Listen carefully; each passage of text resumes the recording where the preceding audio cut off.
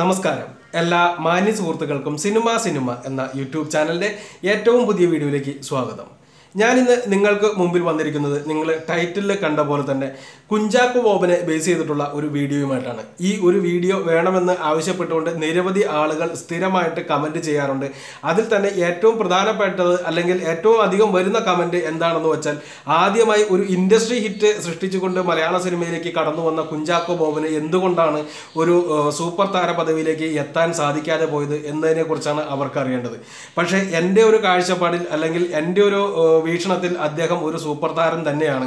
അപ്പോൾ ഞാൻ എന്റേതായിട്ടുള്ള കാഴ്ചപ്പാടിൽ കുഞ്ചാക്കോ ബോബനെ ഒന്ന് നിങ്ങൾക്ക് മുമ്പിൽ പരിചയപ്പെടുത്താമെന്ന് കരുതി ചെയ്യുന്ന ഒരു വീഡിയോ ആണ് തീർച്ചയായിട്ടും ഇത് എന്റെ മാത്രം കാഴ്ചപ്പാടാണ്. ഓക്കെ അപ്പോൾ നിങ്ങൾ വീഡിയോ അവസാനം വരെ കാണാൻ ശ്രമിക്കുക. അതോടൊപ്പം തന്നെ നിങ്ങളുടെ ഓരോരുത്തരുടെയും അഭിപ്രായങ്ങൾ കൂടി താഴെ രേഖപ്പെടുത്താൻ ശ്രമിക്കുക. വളരെ പ്രധാനപ്പെട്ട വേറൊരു കാര്യം കൂടി പറയാനുണ്ട്. ഞാൻ നിങ്ങളുടെ എല്ലാം അനുമതിയോടുകൂടി തന്നെ വേറൊരു പുതിയ ഒരു ചാനൽ കൂടി തുടങ്ങിയിട്ടുണ്ട്. സിനിമകളുടെ വേൾഡ് ക്ലാസ് സിനിമകളുടെ റിവ്യൂസ് അല്ലെങ്കിൽ വേൾഡ് ക്ലാസ് സിനിമകൾ നിങ്ങൾക്ക് മുമ്പിൽ പരിചയപ്പെടുത്തുക എന്നുള്ള ലക്ഷ്യത്തോടു കൂടി തുടങ്ങിയ ഒരു ചാനലാണ്. ദയവ് ചെയ്ത് ആ ചാനൽ ഒന്ന് സബ്സ്ക്രൈബ് ചെയ്യാൻ ശ്രമിക്കുക. അതിന്റെ ലിങ്ക് ഞാൻ ഫസ്റ്റ് കമന്റായിട്ട് താഴെ രേഖപ്പെടുത്തിയിട്ടുണ്ടാവും. പിൻ ചെയ്തു വെച്ചിട്ടുണ്ടാവും. ഓക്കെ ആലപ്പുഴയിലെ വളരെ പ്രശസ്തമായിട്ടുള്ള മാളിയമ്പുരയ്ക്കൽ തറവാട്ടിലാണ് കുഞ്ചാക്കോ ബോബൻ ജനിക്കുന്നത്. ഇതിനെക്കുറിച്ച് എല്ലാവർക്കും തന്നെ അറിയാവുന്നതാണ്. വളരെ പ്രശസ്തനായിട്ടുള്ള ഉദയ എന്ന് പറയുന്ന സ്റ്റുഡിയോയുടെ നിർമ്മാതാവായിട്ടുള്ള അല്ലെങ്കിൽ അതിന്റെ കാരണവരായിട്ടുള്ള കുഞ്ചാക്കോ ബോബയുടെ കുഞ്ചാക്കോയുടെ മൂന്നാം തലമുറ അതായത് അദ്ദേഹത്തിന്റെ മകൻ ബോബൻ കുഞ്ചാക്കോയുടെ മകനായിട്ടാണ് കുഞ്ചാക്കോ ബോബൻ എന്ന് പറയുന്ന നമ്മുടെ ഇന്നത്തെ ഈ സൂപ്പർ താരം എന്ന് തന്നെ നമുക്ക് വിളിക്കാവുന്ന കുഞ്ചാക്കോ ബോബൻ ജനിക്കുന്നത്. എന്നാൽ ഇത്രയധികം പാരമ്പര്യം സിനിമയിൽ ഇത്രയധികം പാരമ്പര്യം ഉണ്ടായിട്ടും ഇത് അദ്ദേഹത്തിന് ഗുണം ചെയ്തോ ഇല്ലയോ എന്നത് തന്നെയാണ് നമ്മൾ ഇന്ന് സംസാരിക്കാൻ പോകുന്ന വിഷയം. അദ്ദേഹത്തിന്റെ കോളേജ് പഠനം ആലപ്പുഴയിലെ എസ് ഡി കോളേജിലായിരുന്നു. ആ ഒരു കാലഘട്ടത്തെക്കുറിച്ച് തന്നെ അദ്ദേഹം പലപ്പോഴായിട്ട് പല ഇന്റർവ്യൂകളിലെല്ലാം പറഞ്ഞിട്ടുണ്ട്. നിങ്ങൾക്കല്ല നിങ്ങൾ ഒരു പക്ഷേ കേട്ടിട്ടുണ്ടാവാം. ഇല്ലെങ്കിൽ ഞാൻ വളരെ വ്യക്തമായിട്ട് തന്നെ പറയാം. ഒരു കാലഘട്ടത്തിന്റെ തരംഗമായിരുന്ന കുഞ്ചാക്കോ ബോബൻ തീർച്ചയായിട്ടും സുന്ദരനായിരുന്നു എന്ന് ഞാൻ പറയാതെ തന്നെ നിങ്ങൾക്കറിയാം. അപ്പോൾ കോളേജിൽ പഠിക്കുന്ന കാലഘട്ടത്തിൽ അദ്ദേഹത്തിന് കാമുകിമാരുടെ ഒരു അതിപ്രസരം തന്നെ ഉണ്ടായിരുന്നു എന്ന് അദ്ദേഹം പല ഇന്റർവ്യൂകളിലും ധൈര്യമായിട്ട് ഓപ്പണായിട്ട് തന്നെ പറഞ്ഞിട്ടുണ്ട്. അത് അതുപോലുള്ള ഒരു രസകരമായിട്ടുള്ള ഒരു കഥ കൂടി ഞാൻ ഇവിടെ ചേർക്കാൻ ഉദ്ദേശിക്കുന്നു. അതായത് അദ്ദേഹം കോളേജിൽ പഠിക്കുന്ന സമയത്ത് അദ്ദേഹത്തിന്റെ ആത്മാർത്ഥ സുഹൃത്തായിട്ടുള്ള ഒരു വ്യക്തിക്ക് ആ കോളേജിലെ ഏറ്റവും സുന്ദരിയായിട്ടുള്ള ഒരു പെൺകുട്ടിയോട് പ്രണയം തോന്നുന്നു. പക്ഷേ ആ പെൺകുട്ടിയുടെ അടുത്ത് പോയി ആ പ്രണയം തുറന്നു പറയാൻ അദ്ദേഹത്തിന് മടിയായതുകൊണ്ട് ആ ഒരു പ്രണയദൂതുമായിട്ട് കുഞ്ചാക്കോ ബോബൻ ഈ പെൺകുട്ടിയുടെ അടുത്തേക്ക് ചെല്ലുന്നു. കാര്യം പറയുന്നതിന് മുമ്പ് തന്നെ പക്ഷേ ആ പെൺകുട്ടി തിരിച്ച് ഇങ്ങോട്ട് കുഞ്ചാക്കോ ബോബനെ ഇഷ്ടമാണെന്ന് പറയുന്നു. ഈ ഒരു സംഭവം കുഞ്ചാക്കോ ബോബൻ ഭയങ്കരമായിട്ട് മാനസികമായിട്ട് തളർത്തി. കാരണം തന്റെ ഏറ്റവും അടുത്ത സുഹൃത്തിന്റെ ദൂതുമായിട്ടാണ് വന്നത്. പക്ഷേ ഈ പെൺകുട്ടി തന്നെയാണ് ഇഷ്ടമെന്ന് പറയുന്നത്. ഇതിന് അദ്ദേഹം ചെയ്ത പ്രതിവിധി എന്താണെന്ന് വെച്ചാൽ ഈ ഒരു വിഷയം പെൺകുട്ടി തന്നെ ഇഷ്ടമാണ് എന്ന് പറയുന്ന വിഷയം കൂട്ടുകാരോട് പറയാതിരിക്കുകയും പകരം ആ പെൺകുട്ടിയെ തന്റെ ജീവിതത്തിൽ നിന്ന് എന്നേക്കുമായി ഒഴിവാക്കി ആ വഴിക്ക് പിന്നീട് പോകാതിരിക്കുകയും ചെയ്ത വ്യക്തിയാണ് കുഞ്ചാക്കോ ബോബൻ. കൃത്യമായിട്ട് പറഞ്ഞ തന്റെ കൂട്ടുകാരനെ വഞ്ചിക്കാൻ സാധിക്കാത്തതുകൊണ്ട് ഒരു സൈഡ് അങ്ങോട്ട് ഒഴിവാക്കിയെന്ന് മാത്രം. ഈ ഒരു സ്വഭാവം തന്നെയാണ് കുഞ്ചാക്കോ ബോബന്റെ ജീവിതത്തിൽ നമുക്ക് എല്ലായ്പ്പോഴും കാണാൻ സാധിക്കുന്നത്. അതുകൊണ്ട് തന്നെയാണ് അദ്ദേഹത്തെ മിസ്റ്റർ ക്ലീൻ എന്ന് മലയാള സിനിമയിൽ മിസ്റ്റർ ക്ലീൻ എന്ന് തന്നെ നമുക്ക് ധൈര്യമായിട്ട് വിളിക്കാൻ സാധിക്കുന്നത്. ഇതുവരെ ഒരു ഗോസിപ്പിലും ചെന്ന് പെടാത്ത അല്ലെങ്കിൽ ഇതുവരെ ഒരു ചീത്തപ്പേരും കേൾക്കാത്ത ഒരു ഹെയ്റ്റർ പോലും ഇല്ലാത്ത ഒരു നടൻ നിങ്ങൾക്ക് മലയാളത്തിൽ കാണിച്ചു തരാൻ സാധിക്കുമെങ്കിൽ അത് കുഞ്ചാക്കോ ബോബൻ മാത്രമേ ആണ്. മാത്രമാണ്. അത് നൂറ് ശതമാനം ഉറപ്പിക്കാം. ഇനി അനിയത്തിപ്രാവ് എന്ന് പറയുന്ന സിനിമയിലൂടെയല്ല അദ്ദേഹം ആദ്യമായിട്ട് സിനിമയിലേക്ക് വരുന്നത്. അത് വളരെ പ്രധാനപ്പെട്ട കാര്യമാണ്. ആയിരത്തി തൊള്ളായിരത്തി എൺപത്തി ഒന്നിൽ ഉദയയുടെ നിർമ്മാണത്തിൽ തന്നെ പുറത്തിറങ്ങിയ ഫാസിൽ സംവിധാനം ചെയ്ത ധന്യ എന്ന് പറയുന്ന മോഹൻലാൽ നായകനായിട്ട് ഇറങ്ങിയ ചിത്രത്തിൽ ബാലതാരമായിട്ടാണ് ആദ്യമായി കുഞ്ചാക്കോ ബോബൻ ക്യാമറയ്ക്ക് മുന്നിലേക്ക് എത്തുന്നത്. പക്ഷേ പിന്നീട് അത് ഒരിക്കലും അദ്ദേഹം പിന്നീട് ആ ഒരു വഴിക്ക് പോയില്ല. അല്ലെങ്കിൽ ബാലതാരമായിട്ട് പോയില്ല. അന്ന് അച്ഛൻ നിർമ്മാതാവായിരുന്നു. നിരവധി സിനിമകൾ അവരുടെ ഉദയ സ്റ്റുഡിയോയിൽ നടക്കുന്നുണ്ടായിരുന്നു. ഇതിന്റെ എല്ലാം ഭാഗമായിട്ട് അദ്ദേഹം സ്റ്റുഡിയോയിൽ ഷൂട്ടിംഗ് കാണാനും കാര്യങ്ങൾക്കൊക്കെ പോകുമായിരുന്നു. പക്ഷെ ഉദയ സ്റ്റുഡിയോ ഒരു കാലഘട്ടം കഴിഞ്ഞപ്പോൾ ഒരു പക്ഷേ അച്ഛന്റെ സിനിമകൾ തിരഞ്ഞെടുക്കുന്നതിനുള്ള വൈഭവത്തിനുള്ള ഒരു പോരായ്മയായിരിക്കാം. എന്ത് തന്നെയായാലും പടങ്ങൾ തുടർച്ചയായിട്ട് പരാജയപ്പെടുകയും ഉദയ സ്റ്റുഡിയോ ഒരു വലിയ നഷ്ടത്തിലേക്ക് പോവുകയും പിന്നീട് അത് ഒരു മൺമറ മൺമറഞ്ഞു പോയി എന്ന് തന്നെ പറയാവുന്ന രീതിയിൽ ആ ഒരു സ്റ്റുഡിയോ തന്നെ ഇല്ലാതായി പോവുകയും ചെയ്യുന്ന ഒരു അവസ്ഥയുണ്ടായി. അവസാനം കുഞ്ചാക്കോ ബോബന്റെ അച്ഛനായിട്ടുള്ള നിർമ്മാതാവായിട്ടുള്ള ബോബൻ കുഞ്ചാക്കോ മരിക്കുന്ന രണ്ടായിരത്തി നാലിലാണെന്നാണ് എനിക്ക് തോന്നുന്നത്. അന്ന് കുഞ്ചാക്കോ ബോബൻ സിനിമയിൽ വളരെ സജീവമായിട്ട് നിൽക്കുന്ന കാലം കൂടിയാണ്. അന്ന് സ്വന്തം അച്ഛൻ മരിച്ചു കഴിഞ്ഞപ്പോൾ അത് പേപ്പറിൽ കൊടുക്കാനുള്ള കാശ് പോലും ഇല്ലാതെ ഒരു സുഹൃത്തിന്റെ അടുത്ത് വളരെ പ്രശസ്തരായിട്ടുള്ള ഒരു ഫാമിലിയാണ് അവരുടെ. അവർ അവരുടെ ഒരു ഫാമിലി സുഹൃത്തിന്റെ അടുത്ത് ഇതിനുള്ള കാശ് കടം ചോദിച്ചപ്പോൾ അദ്ദേഹത്തിന്റെ കയ്യിൽ ഉണ്ടായിരുന്നിട്ട് പോലും അത് ഇദ്ദേഹത്തിന് കൊടുത്തില്ല എന്നുള്ളൊരു കാര്യം കൂടി കുഞ്ചാക്കോ ബോബൻ പലപ്പോഴായിട്ട് ഇന്റർവ്യൂകളിൽ പറഞ്ഞിട്ടുണ്ട്.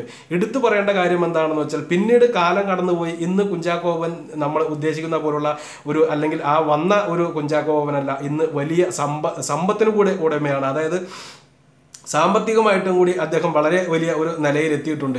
അന്ന് തനിക്ക് കാശുണ്ടായിട്ട് പോലും തരാതിരുന്ന ആ ഒരു കുടുംബ സുഹൃത്ത് പിന്നീട് ഒരിക്കൽ വളരെ ഭീമമായിട്ടുള്ള ഒരു തുക കടം ചോദിച്ചപ്പോൾ ഒട്ടും അമാന്തിക്കാതെ ആ ഒരു തുക അദ്ദേഹത്തിന് കൊടുത്ത് തന്റെ ഒരു മധുരപ്രതികാരം വീട്ടി എന്നുള്ള കാര്യം കൂടി അദ്ദേഹം ഇന്റർവ്യൂകളിൽ പറഞ്ഞതായിട്ട് ഞാൻ കേട്ടിട്ടുണ്ട്. അതെല്ലാം വളരെ അതെല്ലാം എന്താ പറയുക ഈ പറഞ്ഞ രീതിയിലുള്ള ഒരു മിസ്റ്റർ ക്ലീന്റെ ഒരു പ്രതികാരമായിട്ട് തന്നെ നമുക്ക് കണക്ക് കൂട്ടാം ഇനി അനിയത്തി പ്രാവിനെ കുറിച്ച് പറയുമ്പോൾ ഉദയ സ്റ്റുഡിയോയുടെ അൻപതാം വാർഷികത്തിലാണ് ആയിരത്തി തൊള്ളായിരത്തി തൊണ്ണൂറ്റി ഏഴിൽ ഇത് നമ്മുടെ അനിയത്തി പ്രാവ് എന്ന് പറയുന്ന സിനിമ വരുന്നത്.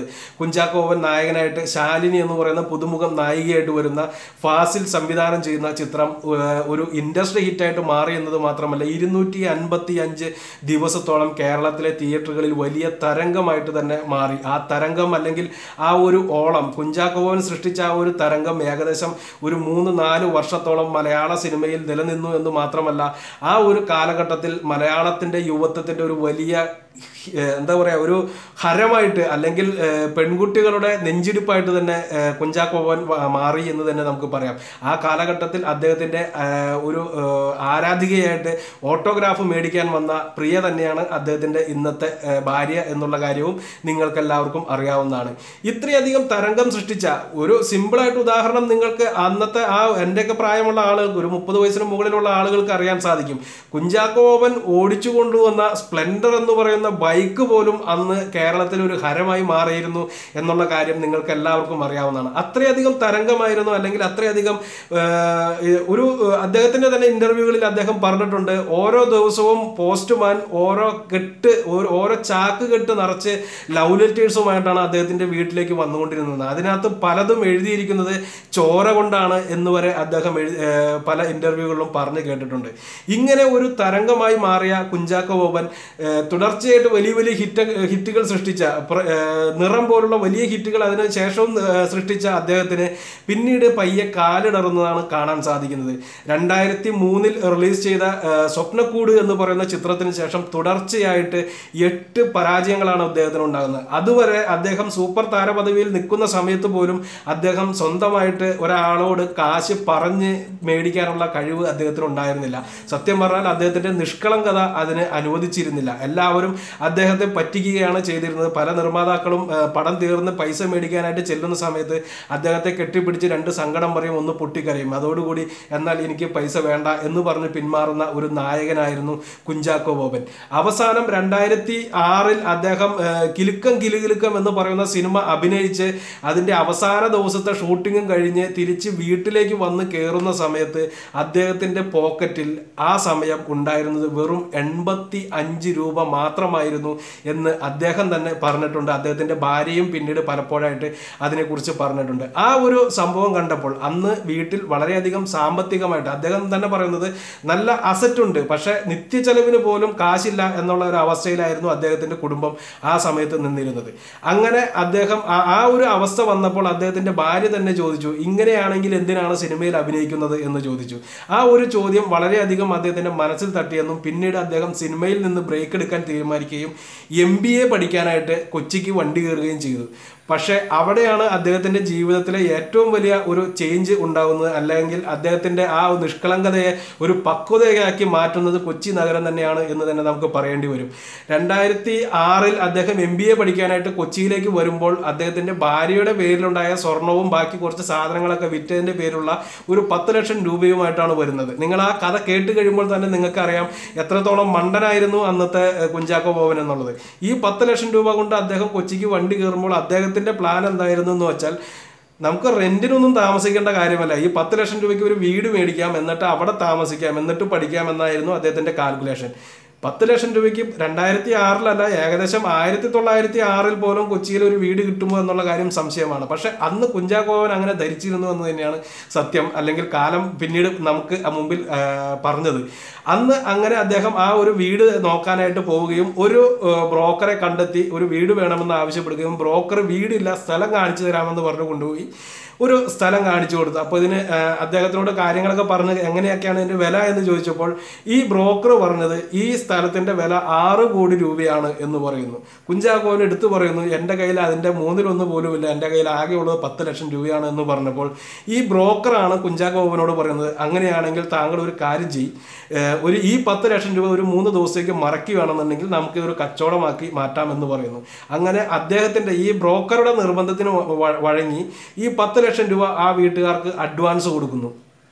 മൂന്നാം ദിവസം ഈ ആറ് കോടി രൂപ പറഞ്ഞ സ്ഥലം നടൻ കുഞ്ചാക്കോവന്റെ സ്ഥലമാണ് എന്നുള്ളൊരു കാരണം കൊണ്ട് തന്നെ പത്ത് കോടി രൂപയ്ക്കാണ് മറച്ചു വെക്കുന്നത്. വെറും മൂന്ന് ദിവസം കൊണ്ടുണ്ടാവുന്ന ലാഭം നാല് കോടി രൂപ. ഈ ഒരൊറ്റ ബിസിനസ്സിലൂടെ കുഞ്ചാക്കോവൻ പഠിച്ച കാര്യങ്ങൾ പലതാണ്. അതായത് ഈ നായകൻ എന്ന് പറയുന്ന അല്ലെങ്കിൽ സിനിമാ നടൻ എന്ന് പറയുന്ന അതിന്റെ വാല്യൂ എന്താണെന്ന് അദ്ദേഹം കൃത്യമായിട്ട് മനസ്സിലാക്കുകയും പൈസ ഉണ്ടാക്കുന്ന രീതികൾ എന്താണെന്ന് മനസ്സിലാക്കുകയും എങ്ങനെ വേണം ആളുകളോട് ഇടപഴകാൻ എന്നുള്ള കാര്യങ്ങളെല്ലാം ഈ ഒരൊറ്റ ഇടപാട് കൊണ്ട് മനസ്സിലാക്കി. പിന്നീടുണ്ടായ രണ്ട് വർഷങ്ങൾക്കിടയിൽ കൊച്ചിയിലെ തന്നെ ഏറ്റവും വലിയ പ്രഗത്ഭരായിട്ടുള്ള സ്ഥല കച്ചവടക്കാരിൽ ഒരാളായിട്ട് മാറുന്ന കാഴ്ചയാണ് കാണാൻ സാധിച്ചത്. ഈ രണ്ട് വർഷം കൊണ്ട് അദ്ദേഹത്തിന്റെ കുടുംബം അതുവരെ ഉണ്ടാക്കിയതും അതുവരെ നഷ്ടപ്പെടുത്തിയതുമായിട്ടുള്ള സകല സാധനങ്ങളും തിരിച്ചു പിടിക്കാനും പിന്നീട് രണ്ടായിരത്തി എട്ടിൽ ഇറങ്ങിയ ട്വന്റി ട്വന്റി എന്ന് പറയുന്ന ചിത്രത്തിലൂടെ ഒരു സിനിമയിലേക്ക് ഒരു തിരിച്ചുവരവ് നടത്താനും അദ്ദേഹത്തിന് സാധിച്ചു. രണ്ട് വർഷങ്ങൾക്ക് ശേഷം ട്രാഫിക് എന്ന് പറയുന്ന സിനിമയിലൂടെ വീണ്ടും എന്താ പറയുക ഒരു താരപദവിയിലേക്ക് തന്നെ കുഞ്ചാക്കോവൻ കയറി വരികയും പിന്നീട് പടിപടിയായിട്ട് തന്റെ ചോക്ലേറ്റ് പഴയ കാലത്തെ ചോക്ലേറ്റ് ഹീറോ എന്നുള്ള ഇമേജിൽ നിന്ന് തുടച്ചു മാറ്റി ഒരു ഫാമിലികളുടെ അല്ലെങ്കിൽ കുടുംബ പ്രേക്ഷകരുടെ ഒരു ഹീറോ എന്നുള്ള രീതിയിലേക്ക് വളരുകയും ചെയ്തു. ആ ഒരു കാലഘട്ടത്തിൽ പോലും അദ്ദേഹത്തിന് ഉണ്ടായിരുന്ന ഒരേ ഒരു ദുഃഖം എന്ന് പറയുന്നത് കല്യാണം കഴിഞ്ഞ് പതിനാറ് വർഷത്തോളമായിട്ടും തനിക്ക് കുട്ടികളുണ്ടായില്ല എന്നുള്ള ഒരു ദുഃഖം മാത്രമായിരുന്നു. അതും ദൈവം ഈ അടുത്തിടയ്ക്ക് സാധിച്ചു കൊടുത്തു. അവസാനം ഇസഹാക്ക് എന്ന് പറയുന്ന കുച്ച കുഞ്ഞിനോടൊപ്പം അല്ലെങ്കിൽ കുഞ്ചാക്കോ ഫാമിലിയിലെ നാലാം തലമുറയോടൊപ്പം സിനിമയിലെ നാലാം തലമുറ എന്ന് വേണമെങ്കിൽ പറയാം.